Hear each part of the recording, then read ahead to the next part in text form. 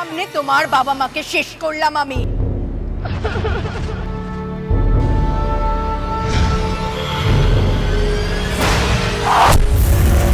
আকাশ পাতাল মহাশূন্য যেখানে পালা কামিনী তোমাকে খুঁজে বের করে প্রতিশোধ দেব আমি।